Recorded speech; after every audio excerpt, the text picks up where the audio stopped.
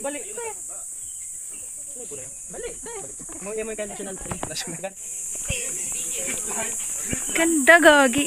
Yan lang yung binibigay na, no, pinapahiram na flashlight. Pagpasensya na nyo na. Babasok po tayo sa loob. Yan ang pinakamaliit. Ano? Meron na, may ilaw. Takot ako. So, ladies and gentlemen, ah pwede upo lang po muna tayo. Kasi bago tayo pumasok ng kuweba, bago pumasok kakaroon muna tayo ng briefing at orientation.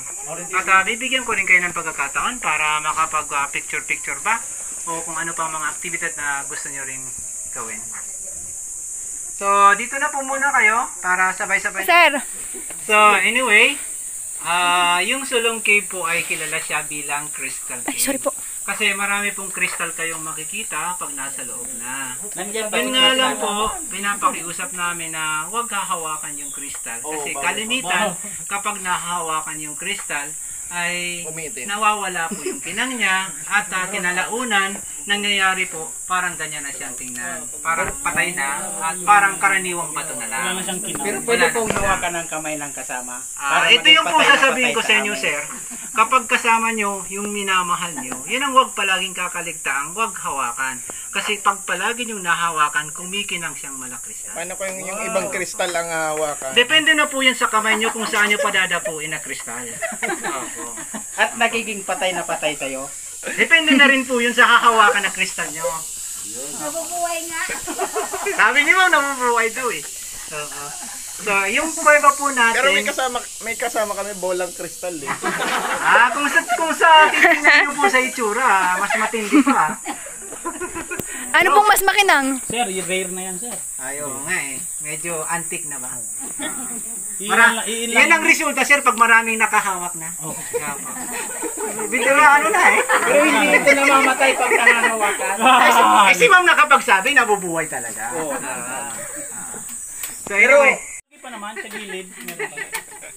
so anyway, balik po tayo sa kuweba. Yung kuweba po technically is a warm and dry cave. Yan, definitely pagpapawisan po kayo. Pero wala namang po gaanong malaking tubig na kayo makikita maliban lang sa mga tumutulong bato. Kaya nga, pinapakiusap namin at ipinapaalala kung sino man sa inyo ang mayroong sakit sa puso o kaya may asthma, pag-isipan nyo po kung tutuloy kayo at papasok pa. Pero kung broken heart lang po ang problema, huwag mag-alala. Gumagaling na yun pag nasa loob na lang po. Okay, ngayon pag pasok natin sa kuweba, safety precaution lang po. Dito po sa may bukana, medyo mabato siya, medyo rough edges po yung dadaanan ta. Tapos mayroon ding mga daan na medyo basa at madulas, kaya ingat tayo. Merong pababa, merong paakyat, at merong mga pinaghukayan din kayo dyan na makikita.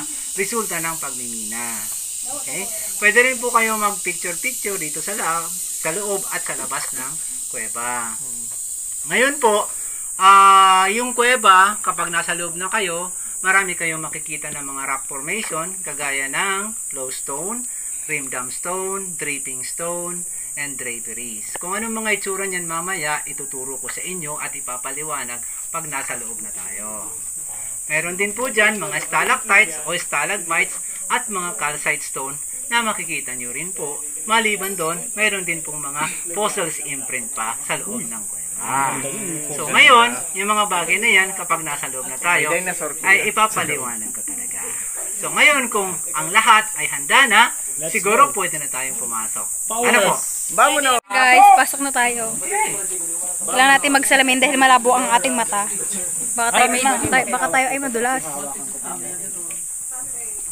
Yan. So ayun guys, after mga registration ni tour guide ay papasok na po kami dito sa kuweba ng ah, Sulong Cave. Ayan. So, ah, Ito abangan po ninyo ko. Kanya-kanya po silang vlog. Yun po. limestone na may sulfur, ayan po, Wow. namumuti at tumikintab siya. Doon nagsisimula na magkakaroon po ng crystal formation. Ngayon, dito naman po, mahalata ninyo na yung mga portion ng kuweba, medyo na-damage po siya. Bakit? Siguro noong mga unang taon ay yung mga tao pumapasok dito ay walang pakundangan at hindi gaano nagpapahalaga sa kalikasan. di ba- Yung iba iba naman na siguro natin. kinukuha yung mga kristal na nakikita nila dito at pinagkakakitaan sa pamamagitan ng pagbibenta. Kaya ayan po, nagsulat po siya ng malaking kita. Pero ang kagandahan naman po, nakikita ninyo, may mga puti na po siya na nagpo tinatawag namin crystal coating po yan. So, palatandaan po yan na yung kuweba ay nagre-revive at gumagaling na.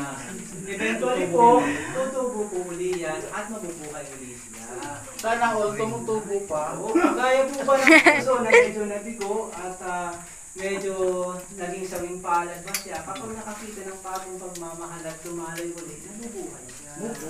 Oo. Ang wish ko lang sana tumubo din ang buhok ko pag galing ko dito. Pa, patulukan dito ng tubig. Depende na lang po kung sino ang pwedeng kahawakin nyo yan at mayroong ano, Si Kuya Bon na laging ready. kagalingan para tumubo. So dito na po tayo. Hi, Papa Will. Ayan, pasok na. Contact nyo lang si Papa Will pag gusto nyo pumunta dito. Wow, ang ganda ng ano ni Kuya Bon. May paring light.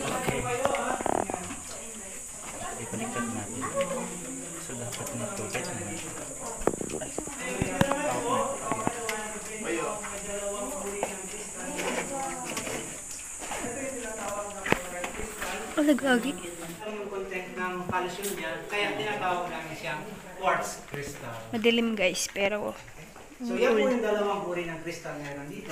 first time ko makapasok sa kuweba. Ito yung first time na pinasukan kong kuweba. Ngayon po, on the spot, mapapansin po ninyo, medyo nakakalungkot nga lang, medyo nadamit po yung portion ng kolong ng kuweba. Yung iba, nangitim at pinutulan pa. Hindi pa ng crop. Opo, ito yan. Sanhi po yan siguro yung pagmimina na nagkaroon po dito 25 years ago. Kung saan Tiger Mining Company from Camarinesor ay nagpunta at nagkaroon ng aktibidad sa pagmimina. Pero sa kaunahan, ang pakay po nila ay kumuha ng guano. Alam niyo po yung guano? Ang guano ay yung ipot at pupo ng pandi. Uh, which is nakadikit ko po, nakadikit yun sa mga limestone, kinukuha nila kasi ginagamit po yun na panghalo sa paggawa ng organic fertilizer. Um, yung sa soup naman, ay yung Baling sayawan. Opo, itlugan ng baling sa sayawan. Sobrang ganda po talaga. Alin po, itong kristal na inilawan ko ninyo? Baan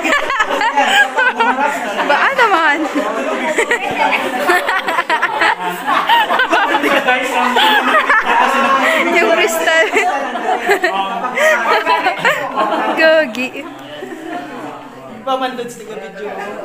Okay na yan. Ayun po, nakikita ninyo, mapapansin, ah, nakakalungkot nga lang kasi yun ang iniwan ng sanhi ng pagmimina. So, dapat talaga kaya masira yung pagmimina talaga. Kasi siguro, naging illegal na yung operasyon dahil yung ang mga ginagawang pagkukay dito ay hindi na maayos at maaaring mayroon na silang hinuhukay na iba. Hindi nga lang namin napatunayan. Ganda, guys. Kung ano Sobra. First time ko dito makapasok sa gantong kuweba. Sa kuweba pala, I mean. Yun. Ang cool pala. Una kasi natatakot talaga ako kasi naisip ko yung mga risk. Pero ganito pala. Kapag nakapasok ka na kasi ay, ang saya guys.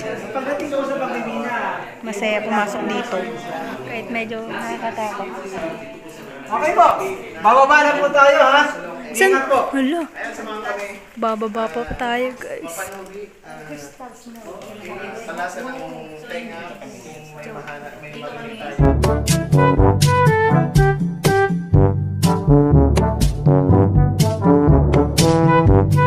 Nakalabas na tayo ng kuweba, so kakapagod at maganda talaga. Sulit naman yung iaano nyo guys. Kaya okay naman. So, syempre, kung bago pa lang rin kayo sa channel ko, huwag niyong kakalimutan mag-like, share, subscribe, and click the notification bell para updated kayo sa lahat ng video pinapost ko. So, yun guys. Thank you for watching. Bye! Roxanne, Roxanne.